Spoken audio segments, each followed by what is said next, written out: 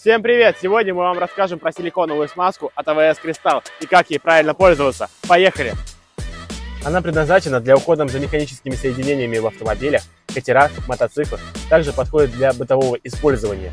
Кроме того, она обладает смазывающими и влагоотталкивающими свойствами и защищает от коррозии.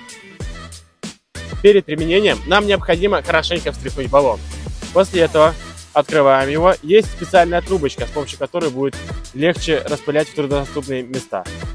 Вставляем трубочку, еще раз встряхиваем баллон и равномерно мы наносим средство на поверхность.